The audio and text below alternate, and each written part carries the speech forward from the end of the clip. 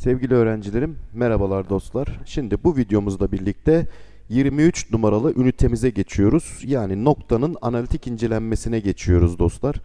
Ee, bakalım kaç tane köşe taşı varmış? Burada 10 tane köşe taşı öğrenecekmişiz.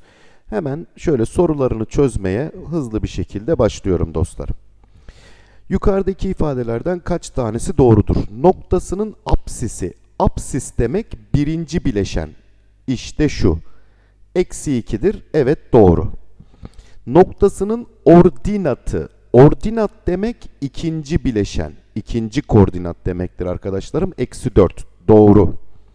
Noktası ordinat ekseni üzerindedir. Ordinat y demekti dostlar. Şöyle bir noktanın apsisi ve ordinatı. Bu apsis. Bu da ordinat demektir. Ordinat e, y ekseni üzerindedir diyor yani. Bir nokta y ekseni üzerinde ise x'i sıfırdır dostlarım. Bak tezatlık var yakalayın. y ekseni üstünde ise x'i sıfır. Ama burada y'sini sıfır vermiş yanlış. Bu yanlıştır. Ordinat ekseni üzerindedir diyor. Yine y ekseni üzerindedir diyor yani. X'i sıfır mı? Evet. O zaman kesinlikle y ekseni üzerindedir dostlarım. Bu doğru. Analitik düzlemde apsis ekseni yani x ekseni üzerinde orijine olan uzaklığı 3 birim olan 2 nokta vardır diye söylemiş. Hemen gösterelim. Şurada bir koordinat düzlemi çizelim dostlarım. Bakın x ekseninin üstünde olacak ve orijine uzaklığı 3 birim olacak. Evet bu olur. 3'e 0 noktasıdır. Bir de burada da olur değil mi dostlarım? Tam şu eksi 3 noktasındadır ve orijine uzaklığı gerçekten 3'tür dostlarım. Eksi 3'e 0 noktası da olur. Dolayısıyla 2 nokta vardır. Bu da doğru. O halde 4 tanesi doğrudur dostlarım. Hemen geçelim ikinci soruya. Hangisi y ekseni üzerinde olup bakın y ekseni üzerinde ise Neydi kuralımız y ekseni üzerinde olmasının özelliği neydi dostlarım? x'i 0 olacak. x'i 0 olmasını istiyor bizden. Şu değil, şu değil. Bakın x'i 0 olan Edirne var. Demek ki cevap Edirne. Noktasının x eksenine uzaklığı 3 birim. Dostlar bir noktanın x eksenine uzaklığı y'nin pozitif değeridir. Yani y'nin mutlak değeridir arkadaşlarım. Peki x ekseninin uzaklığı y'si şurası değil mi bu noktanın? Ordinatı yani. y eksi 1'in demek ki mutlak değeri 3'müş. y eksenine uzaklığı 5 birim diyor. y eksenine uzaklık apsistir. Ama apsisin mutlak değeridir. O halde x artı 1'in mutlak değeri de 5'miş. X artı y toplamı kaçtır diye soruyor. Hemen şunu 3'e eşitlerseniz y'yi 4 bulursunuz. Şunu 5'e eşitlerseniz x'i 4 bulursunuz. x artı y toplamı kaçtır diyor? 8'dir arkadaşlar. Evet şuna bakalım. Hangisi yanlıştır? A'nın apsisi 3'tür. Bakın A'nın x'teki karşılığı x'e iz düşümü 3'tür. Doğru. B'nin ordinatı, B'nin ordinatı demek y'ye iz düşümü eksi 2'dir. Doğru. C'nin x eksenine uzaklığı 2 birimdir. Bak C zaten x ekseninin üstünde arkadaşlarım. X'in üstündeyse x'e uzaklığı 0 olmalıdır bunun dostlar. Ha deseydi ki y eksenine uzaklığı bakın şurasıdır 2 birimdir y'ye uzaklığı bu doğru. Ama x eksenine uzaklığı 2 birimdir demiş yanlış. O yüzden C şıkkı yanlıştır dostlar. Evet ikinci köşe taşındayız. Hangisi analitik düzlemin dördüncü bölgesindedir diyor. Dostlar dördüncü bölge şöyle. 1, 2, 3 ve dördüncü bölgemiz. Dördüncü bölgeye bakarsanız şurasıyla şurası oluşturuyor dördüncü bölgeyi. Yani buradaki x'lerimiz nasıldı dostlar? Artı. O halde x'ler artı olacak y'ler nasıl? Eksi. Demek ki noktanın x'i artı bir sayıdan oluşuyor, y'si eksi bir sayıdan oluşacak. Hangisi öyle? Denizli'ye bakın. x artı y eksi. O halde bu dördüncü bölgededir dostlarım. Hangisi dört bölgeden birinde değildir diyor. Cevap Ceyhan. Neden hocam? Çünkü y'si sıfır bak y'si burasıydı. y'si sıfırsa nerede oluyordu bu nokta? x ekseni üstündeki noktalardan biridir. Ve eksenlerin üstündeki noktalar bölgeye girmez. Bölgede değildirler arkadaşlarım. Y ekseninin üstündeki noktalar da aynı şekilde. Eğer bir nokta eksenlerin üstündeyse bölgelere girmez o nokta arkadaşlarım. O yüzden cevap Ceyhan. Şuna bakalım. Noktası düzlemin ikinci bölgesinde. Dostlar ikinci bölge şurası. Yani x'ler eksi, y'ler artı. Peki x eksi ise m eksi, y de artı bir sayıdır. Hangisi kesinlikle birinci bölgededir? Peki kontrol edelim arkadaşlarım. Direkt şu çarpmalı olanlara bakalım. Şimdi m eksiydi, n de artıydı. Peki eksi ile artının çarpımı ne olur? Eksi. Peki m eksiydi. Bak eksi eksi. İkisi de eksi olduğu için kardeşlerim bu durumda burası da eksi çıkar. Peki kaçıncı bölgede istiyor? Birinci bölgede olsun istiyor. Birinci bölgede olması için ne olması lazım? İkisinin de artı artı olması lazım. Birinci bölgedeki noktalar artı artıdan oluşur. Bakın bu eksi eksi çıktı. O zaman bu birinci bölgede değil. Denizli'ye bakalım. M eksi N artıydı. Çarpımları eksi çıktı. M eksi N artıydı. Bölersem yine eksi çıkar. Bakın eksi eksi. Bu üçüncü bölgeye girer. Bu da değil. Şuna bakalım. M kare M eksi de olsa artı da olsa karesini alınca artı yapar. N'nin de karesi artıdır. O zaman burası artı çıktı. Tamam. Şimdi M'nin karesi artı bir sayı. N ile çarptım. Artı ile artının çarpımı artı. Ama bir de başında eksi var. Burası eksi çıktı. Artıya eksi. Birinci bölge değil arkadaşlarım. Geçtim. Şimdi şuna bakalım. M eksi. Bu artı. Eksi eksi olur. Burası eksi çıkar. Bir kere x'i eksi çıkmasını istemiyoruz değil mi? İkisi de artı çıkacak. Diğerine bakmaya gerek yok. O zaman cevap Edirne'den geldi arkadaşlarım. Ne kare gerçekten artıdır. Artı eksi bu da eksi olduğu için bu da artıya döndü. Sonuçta burası da artıdır. İkisi de artı olduğu için Edirne doğru cevap. İkinci bölgedeymiş. Hemen ikinci bölgeyi hatırlayalım. 1, 2. X'ler nasıl? Eksi. Yani şurası eksi. Y'ler nasıl? Artı. Şurası da artı. Değil mi arkadaşlar? Peki. X eksi 2 eksi bir sayı olacak. Yani sıfırdan küçük. O zaman X küçüktür 2 olacak. X artı 3 pozitif olacak. Yani sıfırdan büyük. O zaman X büyüktür eksi 3 olacak. Şimdi X eksi 3'ten büyük olacak. 2'den küçük olacak dostlarım. Ne olabilir bu aralıkta?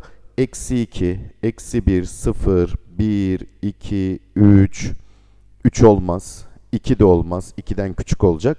4 tane değeri varmış. Cevap Ceyhan. Evet, üçüncü köşe taşımız noktalar arası uzaklık. Çok basitte bir formülümüz var. Kök içinde x'leri çıkar karesini al, y'leri çıkar karesini al. Şimdi x'leri çıkarıyorum. 6'dan 1 çıktı. Sen istersen 1'den 6'yı çıkar. Hiç fark etmez. 6'dan 1 çıktı 5 karesini alıyorum. Artı şimdi y'ler 7'den eksi 5 çıktı. Bak dikkatli ol. 7 eksi eksi 5. Burası artıya döndüğü için topla. 12'nin karesi olur burası da. Peki ne oldu? İster pratik olarak 5, 12, 13 üçgeninden cevap 13'te istersen de yap bu işlemi. 144, 25, topladım 169, 13'ün karesi olduğu için 13 diye çıkarttım dışarı diyebilirsin. Orijine uzaklığı soruyor. Sıfıra sıfıra uzaklığımızı soruyor. Hemen kök içinde 2'den 0 çıktı 2 karesi. 3'ten 0 çıktı 3 karesi. Burası da ne yaptı? 4 artı 9'dan kök 13. Noktalar arası uzaklık kök 37 olduğuna göre hemen yapalım. Kök içinde x'leri çıkartalım. 2'den 3 çıktı. Eksi 1 karesini alıyorum 1. A'dan 4 çıkacak karesini alacağız. A eksi 4'ün karesi eşitmiş kök 37'ye. İki tarafta da kök olduğu için kökleri sildim. Burası 1 artı A eksi 4'ün karesi eşittir 37. Biri bu tarafa atarsak A eksi 4'ün karesi eşittir 36 olur. Neyin karesi 36 idi? 6'nın veya eksi 6'nın. O halde a eksi 4'ü 6'ya eşitliyorum. a'yı 10 buldum. a eksi 4'ü eksi 6'ya eşitliyorum. a'yı eksi 2 buluyorum. Bana pozitif değeri nedir diye soruyor. 10 çıktı arkadaşlarım cevap. Şuna bakalım. Koordinat düzleminde gösterilmiş. Evi A, Eda'ya en yakın marketler B ve C olup kuş uçuş uzaklıkları eşittir. Bakın bunlar eşitmiş dostlarım. o zaman hemen A'nın B'ye uzaklığını bir bulalım. Eksi 1 eksi 4 şöyle kök içinde 5 yapar karesi. Eksi 3 eksi 2 5 yapar karesi. 50 çıktı. Kök 50. O zaman bu da kök 50. Şimdi bunun buna uzaklığını bulalım dostlarım. Eksi 1 eksi 0'dan eksi 1'in karesi yani 1. Eksi 3 eksi n ya da n eksi eksi 3'ten n artı 3'ün karesi diyebilirim buna. Eşitmiş kök 50'ye. Hemen her iki tarafın karesini aldım. Biri de bu tarafa gönderirsem burada 49 çıktı. n artı 3'ün karesi. Neyin karesi 49? Ya 7'nin ya da eksi 7'nin. N artı 3'ü 7'ye eşitledim. n 4 geldi. Pozitif değerini soruyordu. Daha da uzatmıyorum. Bursa'dan çıktı. 4 soruydu değil mi burası? 4. Evet dördüncü köşe taşımız. Orta noktanın koordinatları nedir diye soruyor. Orta nokta bulmak kolay. Bir şeyin ortası toplayıp ikiye bölünerek bulunur. Yani sen x'leri toplayacaksın bak. Eksi 3 ile 5'i toplayın 2 yapar. 2'ye bölün 1 yapar.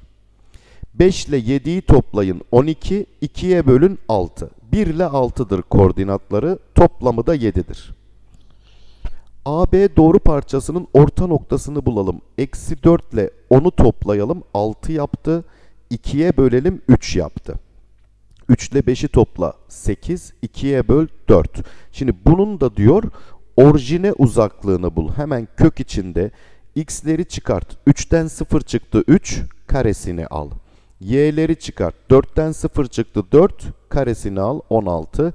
25, 5 çıktı cevabımız dostlarım. AC kenarına ait kenar ortayın uzunluğu. Hemen gösteriyorum. Bakın buna benzer bir soru üniversite sınavında da sorulmuş. Benim yine kitabımda da göreceksiniz bu sorunun aynısı mevcut. Şimdi hangi kenara ait? AC kenarına ait. Şimdi kenar ortayı soruyor bize dostlarım. Kenar ortay AC'ye inecek ve burayı ikiye bölecek. İşte bana B ile D arasındaki uzaklığı soruyor. Peki B'nin koordinatlarını biliyor muyuz? Evet 6'ya 11. D'nin koordinatlarını biliyor muyuz? Şimdilik hayır ama aslında bulabiliriz. Nasıl? A ile C'nin tam ortasıdır değil mi D noktası? Toplayıp 2'ye böleceğiz. Eksi 2 ile 4'ü topladım 2 yapar. 2'ye bölüyorum 1 yaptı. 2 ile eksi 4'ü topladım. Eksi 2, 2'ye böldüm. Eksi 1 yaptı. Şimdi iki nokta arası uzaklık. 6 eksi 1'den 5'in karesi. 11 eksi eksi 1'den 12'nin karesi. 5 12'den de 13'ü paketledim dostlarım. Ya da toplayıp çıkarabilirsiniz de işleminizi yapın. D doğrusu boyunca katlandığında C noktasının görüntüsü C üssü oluyormuş arkadaşlarım. Demek ki D doğrusu kat çizgisi. Açıortay olacak D doğrusu. AB AC'nin iki katıymış. K'ya 2K diyelim buraya da. O halde şurası da M'ye açıortayın özelliği buydu ya. iki katına çıkarıyoruz değil mi? Kollarının oranı neyse ayaklar da olacak. Şurası da 2M. C üssünün orijine uzaklığı nedir diye sormuş bize dostlarım. C üssünün orijine uzaklığı. Şimdi ben bunu katladığımda şuralarda bir yere gelir arkadaşlarım. C üssü burası olsun. Ve bu K katlanınca buraya gelecek. E burası 2K'ydı buraya da K kaldı. Bakın C üssü A ile B'nin ortası oldu dostlar. O zaman bulalım C üssünün koordinatlarını. 7 ile eksi 3'ü topladım 4, 2'ye böldüm 2. 0 ile 4'ü topladım 4, 2'ye böldüm 2. Şimdi bunun da orijine olan uzaklığını soruyor bize. Hemen kök içinde x'ler farkının karesi, y'ler farkının karesi dedim kök 8 çıktı. Bu da 2 kök 2'dir diyebilirim. Sorumuzun cevabı 2 kök 2.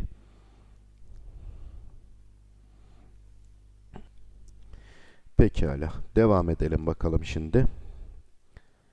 Bunu hallettik değil mi en son? Şunu hallettik.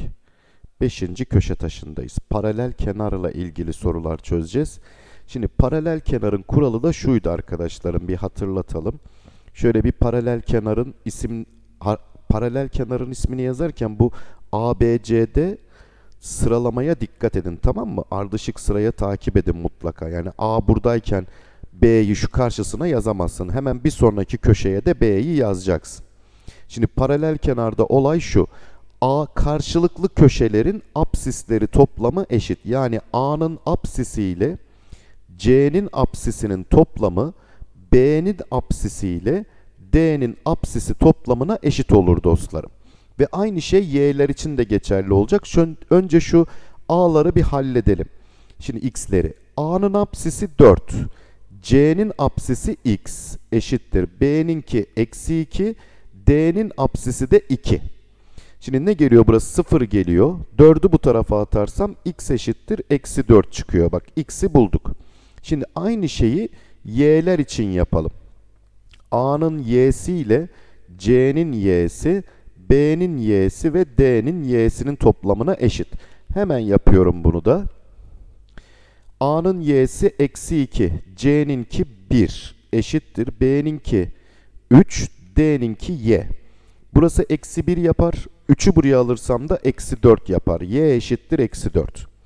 Bize çarpımlarını soruyor. Eksi 4 ile eksi 4'ün çarpımı 16 yaptı. Ceyhan'dan geldi. Şimdi buna bakalım. Yine yapalım bakın hiç uzatmadan şimdi. A'nın apsisi ile C'nin apsisinin toplamı x ile 6'nın toplamı eşit olacak. B'ninki ile D'ninkinin toplamına eksi 1 ile 1'in toplamına. Burası 0. O zaman buranın da 0 olması için x'in eksi 6 olması lazım. Bu 1. Şimdi y için yapıyorum aynısını. y ile 2'nin toplamı 3 ile 5'in toplamına eşit. 8'dir burası. 2'yi bu tarafa atarsam y'ye de 6 kaldı. Bana neyi soruyor? Şimdi A noktasının bulduk biz. Eksi 6'ya 6 diye. Orijine uzaklığını soruyor dostlar. Sıfıra sıfıra uzaklığını soruyor. Hemen iki nokta arası uzaklık formülü yapıyorum. Kök içinde eksi 6'dan 0 çıktı. Eksi 6 karesini aldım 36. 6'dan 0 çıktı ve karesini aldım 36. 72 o da 6 kök 2 diye dışarıya çıktı. Evet üçüncü sorumuz. 3 timsah C noktasında görülmeyen su altında bir timsah vardır diyor. Verilen göl sisteminde A ve C'de de olmaya paralel kenarmış bu arkadaşlar. Yani C'de öyle bir yerdeymiş ki bunlar paralel kenar oluyormuş. Şöyle baktığınızda bir paralel kenar oluşturuyorlarmış bunlar. Demek ki karşılıklı açıların toplamı eşit. Şimdi buna da x, y diyelim. Peki A'nın x'i ile yani eksi 4 ile C'nin x'i yani x eşit olacak. B'ninki ile D'ninkinin toplamına. Eksi 1 ile 3'ün toplamına. Burası 2 yaptı. Bu da buraya artı 4 gelirse 6 olur. X 6 olacak bir kere. Zaten denizli şıkkında var. Başka da yok herhalde değil mi dostlarım? X'in 6 oldu. evet noktaları veriliyor. Güzel bir soru çeşidi. Formül falan yok. Mantıkla çözeceğimiz bir soru arkadaşlarım. Şimdi AB'nin üzerinde bir C noktası alınıyor. C'nin koordinatları nedir diye bir soru sormuş. Şurada gösterelim. Şimdi AB, B burası, A burası. Şimdi AC 1K, BC 2K'ymış arkadaşlarım. Bunu da gösterdim. A'nın koordinatlarını biliyorum 4'e 1. B'ninkiler de 1'e 7. Hadi C'ninkileri bulalım şimdi. Dostlar çok basit bir mantıkla çözeceğiz. Bakın şöyle. Bildiğiniz iki nokta hangisi? A ile B. Önce A'dan B'ye gideceğim. Sonra da A'dan C'ye gidip istediğim şeyi bulacağım dostlarım. Şimdi A'dan B'ye giderken ne kadar yol gittim? Bak 3K. Peki 3K yolunda neler oldu? X'e bakalım şimdi. 4'ten 1'e düştü. Yani 3 birim azaldı mı dostlarım? Peki o zaman 1K lazım bize. Buradan buraya gelirken 1K'da ne kadar azalır diye soralım. 1 azalacak değil mi dostlarım? 4'tü. Sen buradan 1 azaltırsan ne olur? 3 olur. Şimdi y'lere bakalım. Bak 1'den 7'ye zıpladı. Nerede? 3K'da. 3K'da 6 arttı. Peki 1K'da ne kadar artar? 2 artar. 1'di. 2 arttırdım 3 oldu. 3'e 3 çıktı noktamız dostlar. Hadi ikinciyi yapalım. Burada çizili verilmiş. Şimdi diyor ki AC'ye 3K, BC'ye de 2K yazın. C'nin koordinatlarını bulun diyor arkadaşlarım. Hadi bulalım. Şimdi A'dan B'ye gidelim. Yani 5K yolunu gidelim. 5K'da eksi 2'den eksi 12'ye düştü. 10 birim düştü. Peki 3K'da ne kadar düşer? Bak 2 katı, bu da 2 katı olacak. 6 birim düşer. Eksi 2'den 6 çıkarırsam eksi 8'e ulaşırım. Şimdi y'lere bakalım. 5'ten 10'a 10 birim arttı değil mi? 5K'da şey 5 birim arttı. 3K'da 3 birim artar. Hemen 5'e 3 ekledim 8 oldu. Eksi 8'e 8. Şuna bakalım. C'nin koordinatlarını istiyor. Önce şunu bir yazalım. AB'ye 1K, AC'ye 3K, buraya 2K kaldı. Hadi şimdi A'dan B'ye gidelim. B'den de C'ye gideriz. Eksi 1'den 3'e ne kadarlık bir artış var? 4 arttı. 1K'da 4 arttı. 2K'da ne kadar artar? 8 artar. O zaman buradan buraya 8 ekleyeceğim. 3'tü. 8 eklersem 11 olur. Şimdi y'lere bakalım. 4'ten eksi 1'e 5 düştü. K'da 5. 2K'da 10 düşer. Eksi 1'den 10 düşürürsem eksi 11. Koordinatları toplamı 11 ile eksi 11'in toplamı 0'dır dostlarım. Geçtim dördüncü soruya. Evet şimdi D noktasını bulalım bak. A ile B'nin tam ortası değil mi denizli noktası? Değil mi? Toplayıp 2'ye böleceğim. Eksi 7 ile 3'ü toplayın. Eksi 4. 2'ye bölün. Eksi 2. 13 ile eksi 3'ü toplayın. Eksi 10. Şey 10. 2'ye bölün. 5. Şimdi E noktasını bulalım. Bunun için de demiş ki EC'ye K dersen AE 4K olacak. Hadi şimdi şunu yapalım. C'den A'ya gidelim 5K. Sonra C'den de E'ye gidip E'yi buluruz. Şimdi 3'ten eksi 7'ye 5K'da ne kadar düştü? 10 düştü. 1K'da 2 düşer. 3'ten 2 düşürürsem 1. Tamam. 2'den eksi 3'e 5 düştü.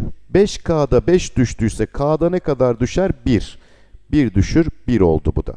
Şimdi bize de D ile E arasındaki uzaklığı soruyor dostlarım. Hemen kök içinde x'leri çıkar. Eksi 2'den 1 çıktı. Eksi 3'ün karesi 9. 5'ten 1 çıktı 4. 4'ün karesi 16. Kök 25. O da 5 diye çıkar dışarıya. Yedinci köşe taşımız. Ağırlık merkezinin koordinatlarını bulacağız dostlarım. Ağırlık merkezinin koordinatları şöyle bulunuyor. 3 köşeyi toplayıp 3'e bölüyorsunuz. X'leri toplayalım. 7, 3 daha 10, eksi 1 daha 9, 3'e bölüyorum 3. Şimdi y'leri toplayalım. 5, eksi 6 daha eksi 1, 7 daha 6 yapar. 3'e bölüyorum 2.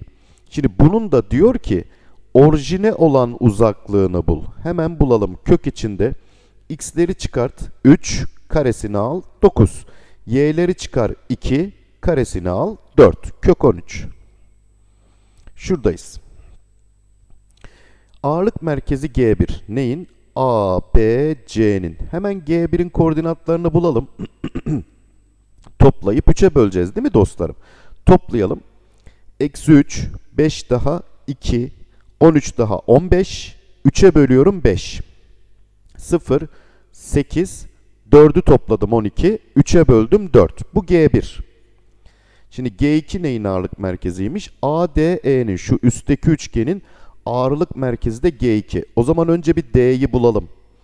Toplamlarının yarısıydı. 5 ile eksi 3 topladım 2. 2'ye böldüm 1. 0 ile 8'i toplayıp 2'ye böldüm 4. E'yi bulalım. 13 ile 5'i topladım. 18 2'ye böldüm 9. 8 ile 4'ü toplayıp 12 2'ye böldüm 6. Şimdi bu üçgenin ağırlık merkezini bulalım. G2'yi yani. Toplayıp 3'e böleceğim. 9. X'leri toplayın bakın. 9 1 daha 10. 5 daha 15. 3'e bölüyorum 5. 8 6 daha 14. 4 daha 18. 3'e bölüyorum 6. Ve G1 ile G2 arasındaki uzaklığı bulalım. X'leri çıkar 0 karesini aldım. Y'leri çıkar 2 karesini aldım 4. Kök 4 o da 2 yapar diyebiliriz. Evet 3'e geçtik. Şekilde Ali'nin evi, Ali'nin evi A noktasında, Burak'ın evi B noktasında, okul C noktasında modellenmiştir. Tamam. Şimdi ne diyor bize başka? Ali, Burak okula beraber gitmektedir. İlk gün Ali doğrusal AC yolundan giderken Burak BK yolundan birlikte dönerken Ali dönüşte yok beraber yola devam ediyorlar. BK önce gelip beraber buradan da yola devam ediyorlar. Dönüşte CB yolundan birlikte dönerken Ali L noktasından ayrılıp LA boyunca evine dönmektedir. BL LC'ye AK CK'ya. Bak burası ne oldu?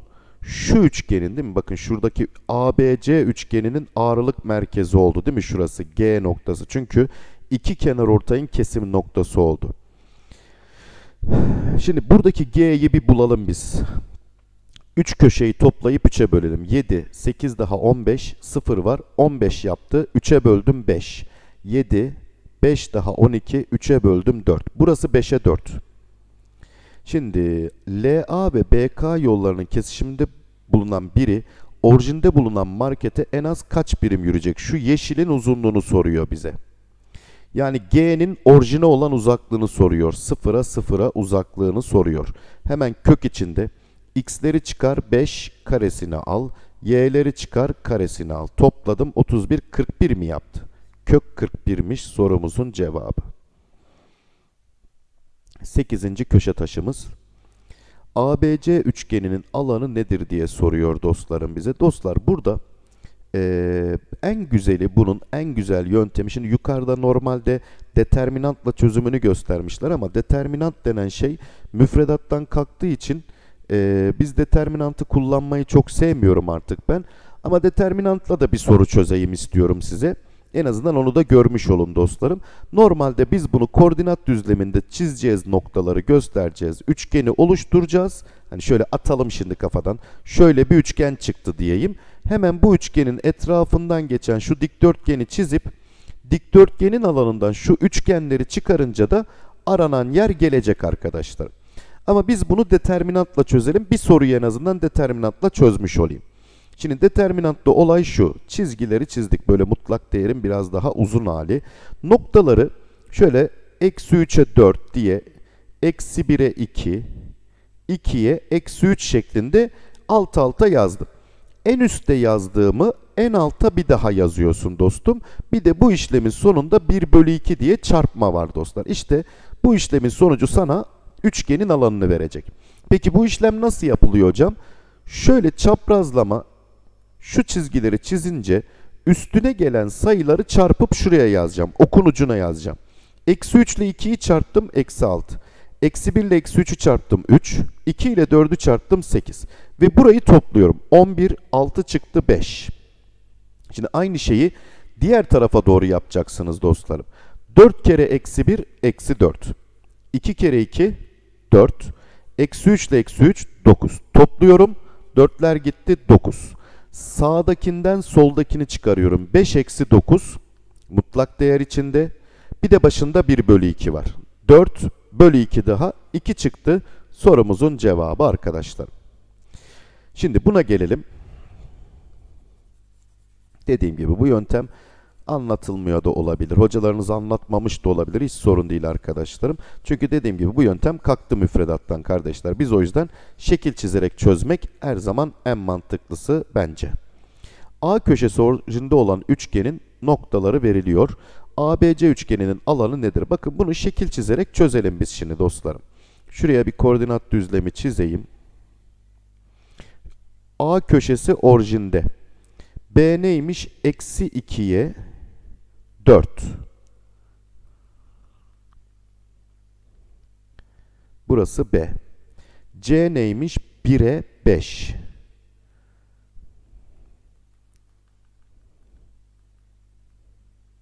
Burası da C.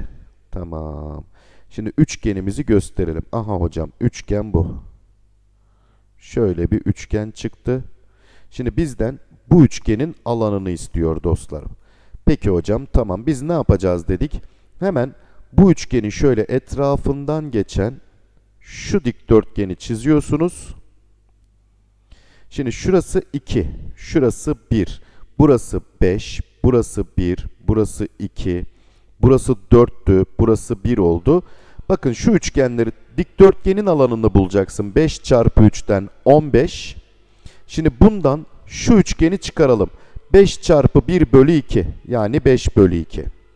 Başka şu üçgeni çıkaralım. 3 çarpı 1 bölü 2'den 3 bölü 2. Başka şu üçgeni çıkartacağız. 4 çarpı 2 bölü 2'den 4. Burası eksi 8 bölü 2'den eksi 4 yaptı.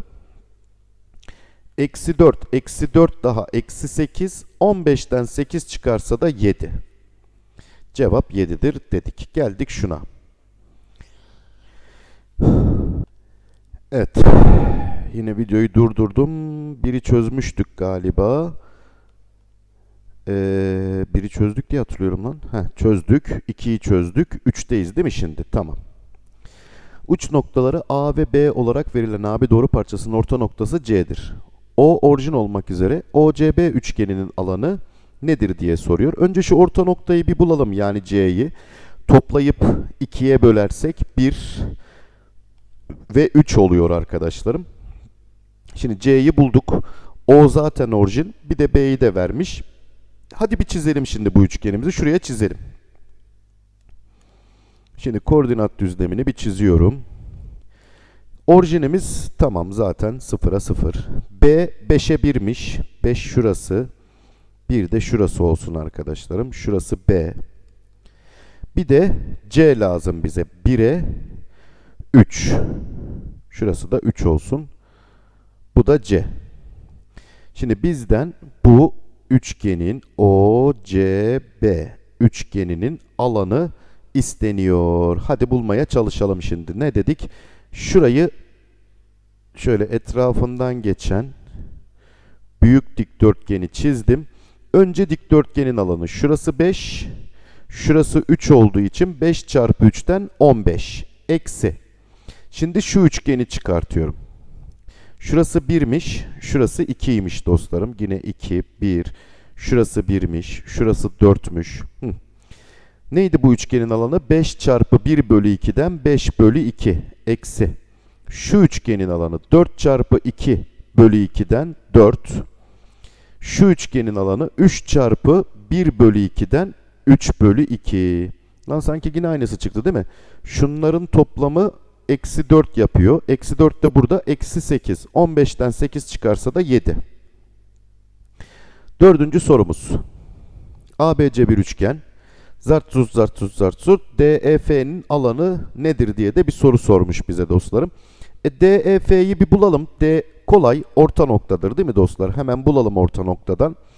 Toplamlarının yarısı 8 bölü 2'den 4. 6 eksi 2 4 bölü 2'den 2.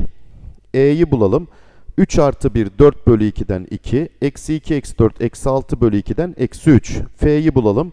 6 bölü 2'den 3. 2 bölü 2'den 1. Şimdi bu üçgenin alanını bulacağız dostlarım. Yine bunu koordinat düzleminde çizip gösterebiliriz. Ya da determinantla da bulmak istiyorsanız determinantı birinci soruda yapmıştık. Oradan da çözebilirsiniz dostlarım. Hemen şöyle koordinat düzlemi çiziyorum ben. Noktaları gösterelim. 4'e 2. Bu 1. 2'ye eksi 3. 2'ye eksi 3 de şurada olsun. Bu da ikinci noktamız. 3'e 1. 3'e 1 de şurada olsun. Ulan üçgen bile güzel çıkmadı ya. Şimdi şöyle dangalak bir üçgen çıktı arkadaşlarım. Tabi çok böyle orantılı çizemediğimiz için sayıları tam güzel vermediğimiz için böyle bir üçgen çıktı. Bizden bu üçgenin alanı isteniyormuş dostlarım. Şimdi ne yapacağız dedik? Bu üçgeni içine alan şöyle dikdörtgeni bir oluşturalım. Ee, şöyle çizelim hatta şuradan da aşağı indirelim. Şöyle bir dikdörtgenimiz var. Şurada hatta şöyle de bir şeklimiz oluşsun. Şu köşeyi de göstermiş olalım. Şimdi kenar uzunluklarını yazalım. Şurası 3. Şu neydi bu nokta? Ee, 3'e 1'di. Şurası 1 birim. O zaman şurası 1. Şurası 1. Şurası 2 ile 3'ün arası 1. Şurası 2 ile 4'ün arası 2 olacak. Şurası da 1. Şurası 1. Şurası 1. Şurası 2. Burası 3. Burası 2. Evet. Dikdörtgenin alanı 5 çarpı 2'den 10. Eksi. Şimdi şu karenin alanını yazalım. 1 çarpı 1'den 1. Eksi. Şu üçgenin alanını yazalım. 4 çarpı 1 bölü 2'den 2. Şu üçgenin alanını yazalım. 5 çarpı 2 bölü 2'den 5. Şu üçgenin alanını yazalım. 1 çarpı 1 bölü 2'den 1 bölü 2. 3, 8 çıkacak 2. Bir de 1 bölü 2 çıkacak. 4, 5 bölü 2 yani 2,5 mu? 4, 3 bölü 2 lan.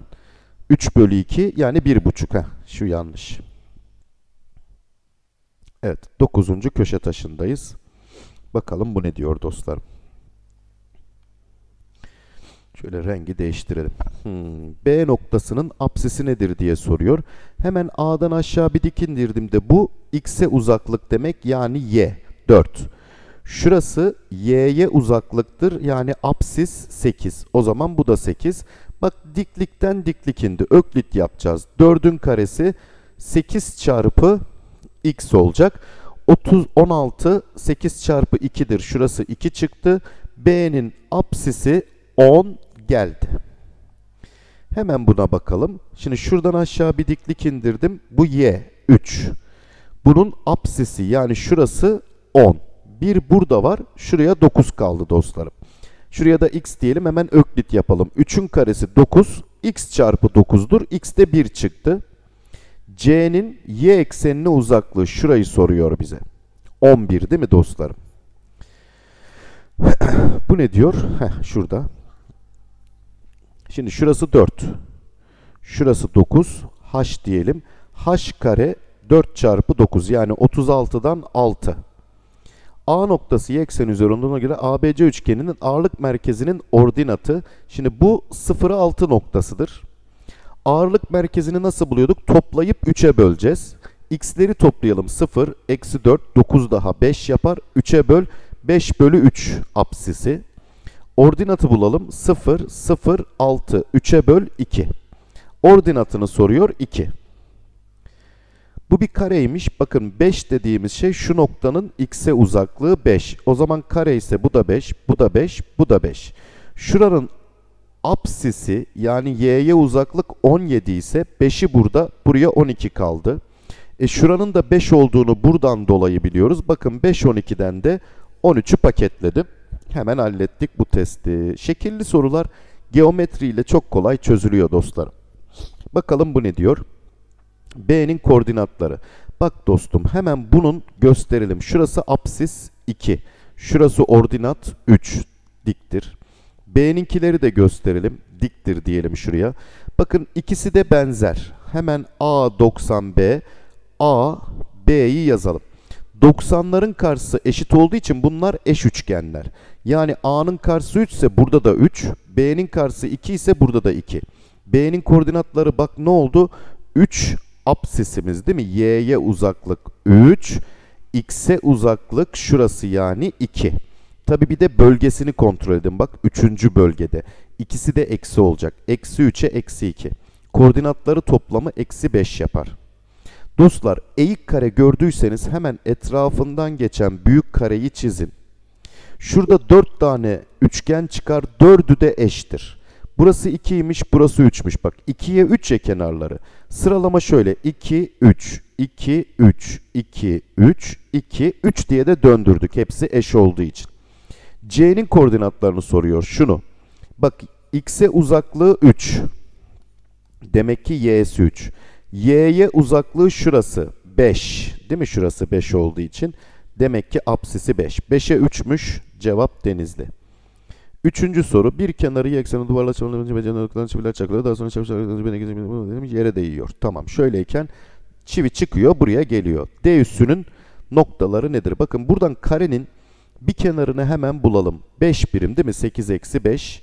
Şurası 3. Şurası da 8 olduğu için karenin bir kenarı 5. Şimdi şurayı 3 vermiş bize. A'nın buraya olan uzaklığı 3. O zaman bu 4. Şimdi karenin etrafından şöyle geçen büyük kareyi de biz çizelim. 3, 4. 3, 4. 3, 4. 3, 4. Neyi soruyor? D üssünün ordinatı. Yani x'e uzaklığını. Yani şurayı soruyor bize. Yani şurayı soruyor değil mi? 7. Evet bu da tamam. Aa, tarama testine geçmişiz arkadaşlarım. Şimdi burada durdurayım. Bunu iki parçada çekelim. Bu biraz uzundu. Tarama ve konuyu da ayrıca çekeriz. Hadi öpüyorum sizleri. Görüşmek üzere.